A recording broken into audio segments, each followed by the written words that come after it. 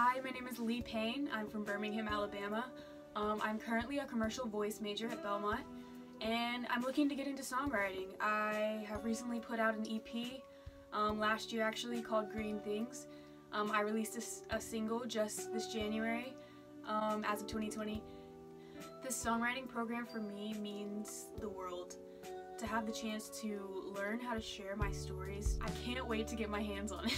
I, I like I, I don't even think I know what I can do yet and I'm so excited to to have the opportunity to share that with you guys like to learn from some of the best. That's why I don't want to go anywhere else, else for this. I would jump at the chance to do this like and I hope I can contribute so much to it. I've already co-written with a bunch of songwriting majors and they are really special. You have a good thing going so I want to be a part of it